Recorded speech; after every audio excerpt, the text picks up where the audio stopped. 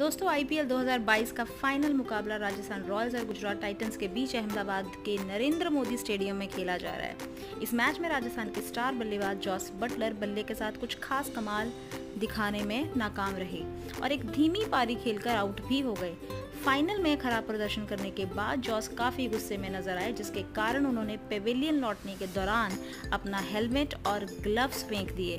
अब इस घटना का वीडियो भी सोशल मीडिया पर खूब वायरल हो रहा है। आपको बता दें, ये घटना राजस्थान की पारी के तेरहवें ओवर की है। हार्दिक पांड्या ने बटलर को पहली गेंद ऑफ़ स्टम्प से बाहर फेंकी थी, जिसे बल्लेबाज ने छेड़ने की गलती कर दी और उसका खामियाजा उन्हें अपना विकेट गंवाकर चुकाना पड़ा। लेकिन इसके बाद बटलर खुद पर ही काफ़ी गुस्सा दिखे और उन्होंने पेवेलियन लौटते समय अपना हेलमेट और ग्लव्स दोनों ही दूर फेंक दिए। तो वेल दोस्तों, क्या है आपका कहना? हमें इस बारे में ज़रूर बताएँ और अगर स्पोर्ट्स और क्रिकेट से रिलेटेड किसी भी तरह की अपडेट्स के लिए मेरे चैनल को ज़रूर सब्सक्राइब करें। धन्यवाद।